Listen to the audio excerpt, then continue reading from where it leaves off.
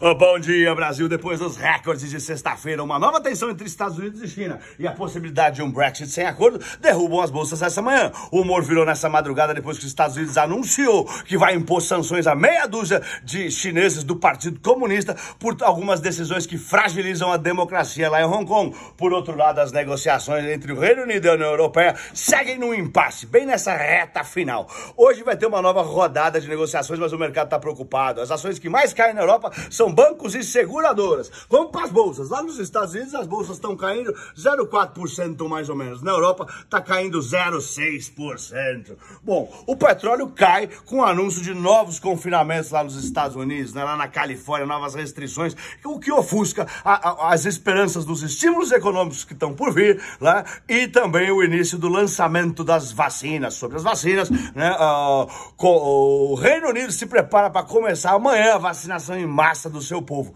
Né? Vão, vão usar a vacina da Pfizer. Já nos Estados Unidos, eles devem dar autorização até quinta-feira e já começar a vacinação na própria sexta. Enquanto isso, dados econômicos do, que estão animando o mercado ficam ofuscados. As exportações na China é, vieram muito fortes e a produção industrial da Alemanha também. Eu sou Pablo, bons negócios. Ah, vai, Torinho! Vai, Torinho!